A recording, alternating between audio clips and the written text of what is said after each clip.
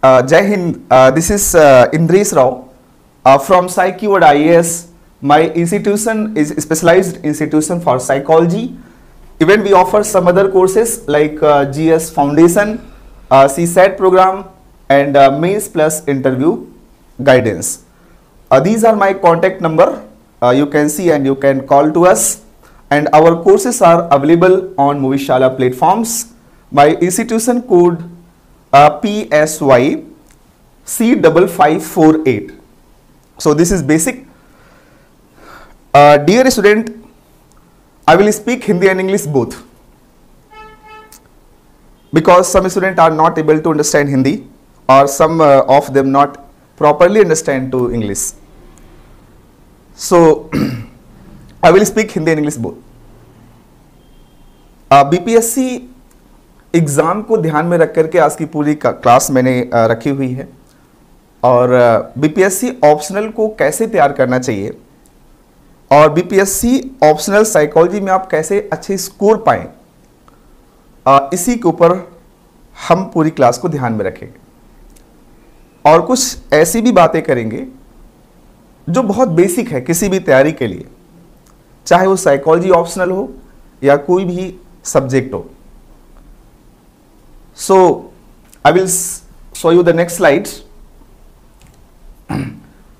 and I will totally focus on our exam BPSC तो हम BPSC के optional psychology की बात करते हैं।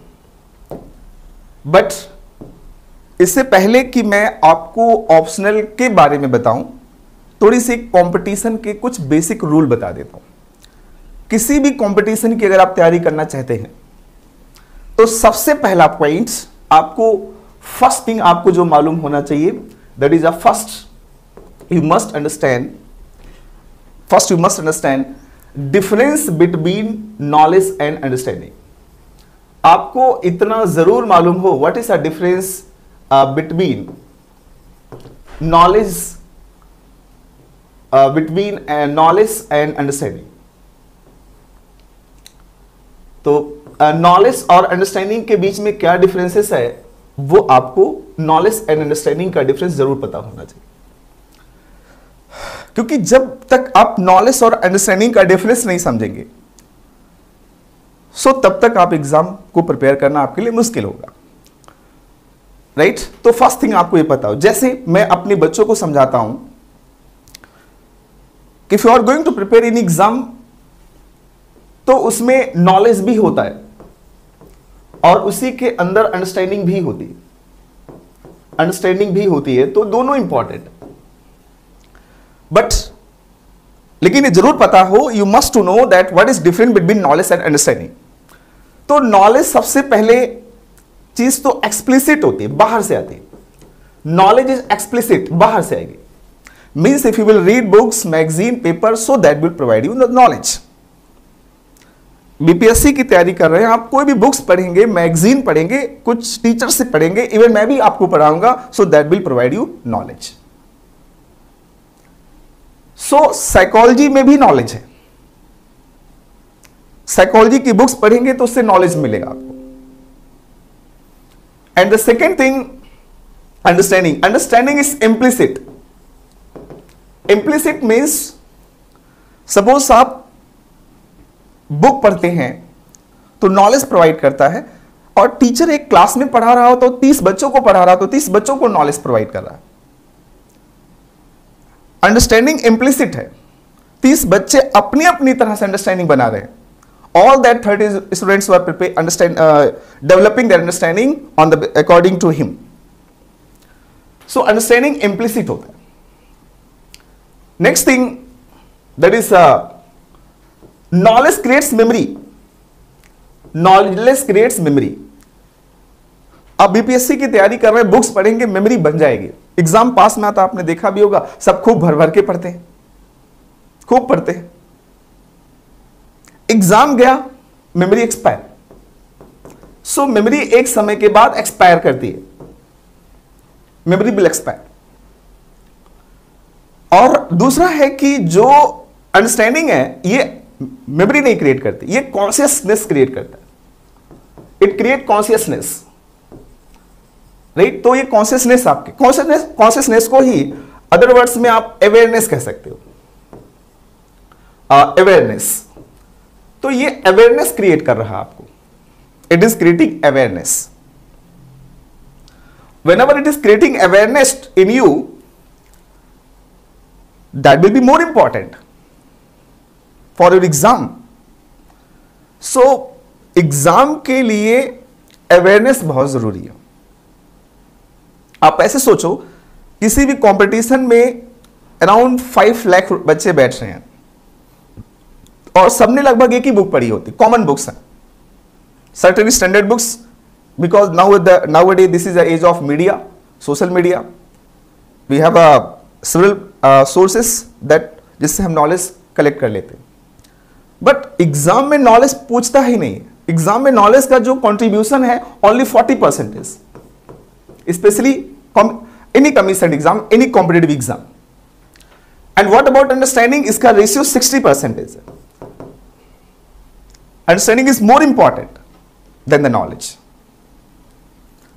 and understanding will never expire understanding कभी एक्सपायर नहीं होती नेवर एक्सपायर ये कभी भी एक्सपायर नहीं होती you can take the example of three idiot movie so three idiot movie को आपने अगर ध्यान से देखा हो तो उस मूवी में यही चीज़ बताने की कोशिश करता है। जब वो कॉलेज में जाता है तो आ, उसकी रैगिंग होती है वो अपनी रैगिंग से बचने के लिए अपनी अंडरस्टैंडिंग का यूज़ करता है। और जब वो कॉलेज से अपनी academics class I mean course complete करके वापस जा रहा होता है तो डीन की बेटी को लेबर पेन होता है वहाँ पर भी अपनी अंडरस्टैंडिंग का इस्तेमाल करके वो बचता है। आई I मीन mean, एक माँ और एक बच्चे की के जीवन को बचाता है। तो मीन्स अगर आप में अंडरस्टैंडिंग है अगर आप में अंडरस्टैंडिंग है तो आप उसी तरह की रणछोड़ दास एग्ज़ाम में पीटी में भी काम आ सकता आपका वही अंडरस्टैंडिंग पीटी में काम आता है वही अंडरस्टैंडिंग आपको मेंस में काम आएगा। That understanding will also help you to your optional psychology so in psychology you must develop knowledge as well as understanding more focus toward the understanding ज़्यादा फोकस किस पे करना है? अंडरस्टैंडिंग के ऊपर. गेटिंग तो फ़र्स्ट थिंग जब आप ऑप्शनल साइकोलॉजी की तैयारी करें तो ऑप्शनल साइकोलॉजी को सिर्फ़ नॉलेज ही मत उसमें गेन करो, उसको आप अंडरस्टैंडिंग लेकर के अंडरस्टैंडिंग डेवलप करो। This is important and second thing second thing which I always mention for every aspirant while they are going to prepare exam दूसरी बात जो मैं हर बच्चे को बोलता हूँ कि अगर आप ऑप्शनल्स की तैयारी करो तो उसमें क्या चीज़ ध्यान में रखो कि आप में एप्टीट्यूड और एटीट्यूड का डिफरेंस ज़रूर बताओ। फ़र्स्ट ऑफ़ ऑल इस साइकोलॉजी का टॉपिक है तो आप जानते हैं। Aptitude ट्यूड as well as attitude attitude में क्या डिफरेंस है? Attitude and aptitude both are not same thing both are not same thing first thing aptitude means होता है interest interest plus potential interest plus potential is equal to aptitude किसी भी task में आपको interest है और future में अच्छा परफॉर्म करने की कैपेसिटी है. That is your aptitudes and aptitude will always provide you pleasure या आपको हमेशा इंजॉय देगा। मज़ा देगा। सो so, अगर साइकोलॉजी को तैयार कर रहे हो आप तो साइकोलॉजी के टॉपिक्स में इंटरेस्ट है। प्लस आपको लगता है कि नहीं मैं इस टॉपिक को आगे पढ़ के फेटिक नहीं होगा बोर नहीं होगा choose psychology as a optional आपको मज़ा आना चाहिए। मुझे मज़ा आता है। मैं सुबह से शाम तक पढ़ाता रहता हूँ। थकता नहीं। फिजिकली थकान होती है बट मेंटली नहीं, क्योंकि मज़ा आता है। I am I will I am always excited for the every class अरे, अगली क्लास मज़ेदार पढ़ाऊँगा कुछ नया बताऊँगा। So that is aptitudes I have many we have many seniors मैंने अपने कई सीनियर्स को देखे हैं, जिनको साइकोलॉजी में बहुत मज़ा आता है। वो पूरे दिन काम करते फिर भी लगता है कि कम है। So the person who have aptitudes that is that will always go aheads then next is attitudes attitudes का मतलब यही कि किसी ने आपको बोला कि साइकोलॉजी ले लो अच्छा सब्जेक्ट है, मज़ा आएगा मार्क्स मिल जाएगा। सो दैट इज़ नॉट तो ये एक्वायर्ड होता है। It is basically acquired so it is acquired तो ये एक्वायर है। वाई इट इज़ एक्वायर्ड तो ये मीन्स किसी के कहने से आई I मीन mean, कहीं से आपने लिया है। And it is inborn Sachin Tendulkar को क्रिकेट खेलने में बोर नहीं लगते। वो बॉल को इंजॉय करते हैं। When is enjoying with the ball run अपने आप बनता है। और रन बनेंगे फ़ैन बनेंगे फ़ैन बनेंगे तो पैसे बनेंगे। So in short I want to say कि अगर साइकोलॉजी में आपको इंटरेस्ट है और पोटेंशियल है तो ही इसको ऑप्शनल लो। राइट सो फ़र्स्ट दो बातें मैंने बताई। आपको नॉलेज और अंडरस्टैंडिंग का डिफरेंस साइकोलॉजी की तैयारी करने से पहले ज़रूर पता हो। सेकंड आप अपने एटीट्यूड्स और एप्टीट्यूड्स की समझ ज़रूर रखो। तभी आप इस सब्जेक्ट को चूज़ करो, या किसी भी ऑप्शन को चूज़ करो। Right you must check your aptitudes first without checking of aptitudes आपके अंदर से वर्ड्स आएँगे ही नहीं। आपको बोर लगेगा। And now if you are going to prepare optional तो ऑप्शनल को तैयार करने के लिए जो मैं प्रोटोकॉल्स आपको बताने जा रहा हूँ, वो बहुत ध्यान से अपने माइंड में रखना। जब भी आप साइकोलॉजी ऑप्शनल को तैयार करो first of all you must you must syllabus अपने पास में रखो। फ़र्स्ट थिंग इज़ सिलेबस जब भी आप तैयारी करो सिलेबस अपने पास में रखो। राइट सिलेबस हमेशा अपने साथ। और दूसरा, मैं बोलता हूँ कि आप previous year paper because syllabus is our basically previous year questions जो हैं, उसको भी अपने पास रखें। Previous year paper always put with you syllabus is our Bible Quran whatever you want you can say and previous year paper is explanation of that Gita and Bible and Quran तो means तैयारी करते समय सबसे पहले आप syllabus लो। जैसे आपने इंट्रोडक्शन टॉपिक लिया जस्ट इमेजिन आपने इंट्रोडक्शन टॉपिक लिया तो इंट्रोडक्शन टॉपिक के अंदर पहले उसको बाइफ्रिकेट कर लो सिलेबस को पार्ट्स में डिवाइड कर लो। लाइक like, जैसे फ़र्स्ट टॉपिक क्या होगा? मीनिंग ऑफ़ साइकोलॉजी सो यहाँ आपने लिख दिया meaning of psychology second psychology में बहुत सारे अप्रोचेज हैं. Approach of psychology third you must a understanding over the antecedents आपके जितने भी आ, इसमें एंटीसीडेंट्स हैं वो सारे आपको पता होने चाहिए साइकोलॉजी का. और फिर इसके बाद साइकोलॉजी के एंटीसीडेंट्स के बाद में इसके ब्रांचेस आपको मालूम हो? ब्रांचेस देन साइकोलॉजी साइंस है या फिर ह्यूमैनिटीज का सब्जेक्ट है? इस पे आपको पता हो। Then you must understanding you must understand that application of psychology application क्या है? और एक सेगमेंट और बना सकते हो आप। इसमें that is branches psychology and other subjects psychology and other subjects other subject is here तो एटलीस्ट अब ऐसे सबसे पहला काम आपने क्या किया? सिलेबस को बाइफ्रिकेट कर दिया। अब बीपीएससी की तैयारी कर रहे हो तो सबसे पहले सिलेबस को आप लो और उसको बाइफ्रिकेट करो मीन्स उसको डिवाइड कर दो।